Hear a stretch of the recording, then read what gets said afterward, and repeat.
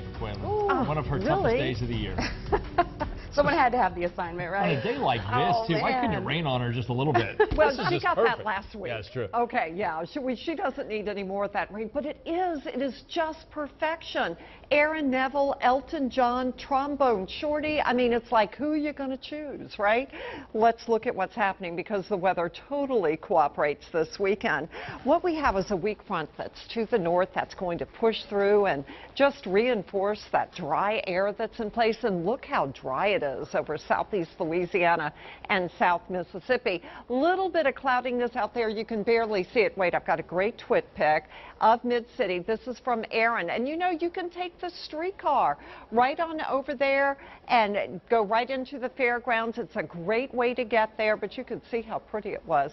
79 degrees now. The humidity is very low. Feels pleasant outside. Here is a look at our temperatures about the area. Upper 70s to the low 80s. Down towards Galliano, though, it's now 76 degrees. We are running warmer than yesterday by about 4, 5, 8 degrees. Overall, pretty pleasant. And as you go into the evening, a few clouds every now and then. That's it. No rain is forecast. So right at night, at 9 o'clock, mid 60s to the upper 60s, and then we'll be cooling down as we go into the morning hours. Here is a look at the forecast with that weak cold front getting into the area. I don't see it cooling the daytime highs much, but we will have that northeast flow. High temperatures tomorrow near 80 degrees. Then as we go into Saturday, a little bit cooler in the morning hours. A few clouds during the day, not much. High temperatures in the upper 70s.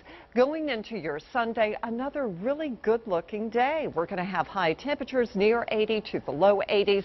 Begin to pick up a little bit more of a southeast flow. So if you're going to Jazz Fest, sunscreen, hat, and shades for every day. And then just go and pass a good time. Check out the crafts, too. I love the crafts. Hey, over in Thibodaux, Mr. George says the Fireman's Fair going great. The weather totally cooperated. High today 81, the average 82, the record 89. Look at that record low 46 set in 1965.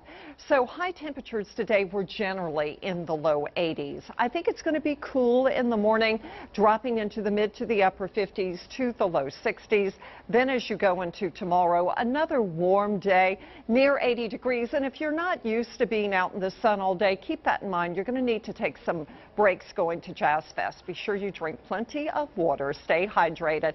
And by the way, for the month of April, we just missed a complete foot, fifth wettest on record, and also we ended up being the second warmest on record for the month of April. So here is a look at what I'm expecting tomorrow, near 80, right at 3 o'clock.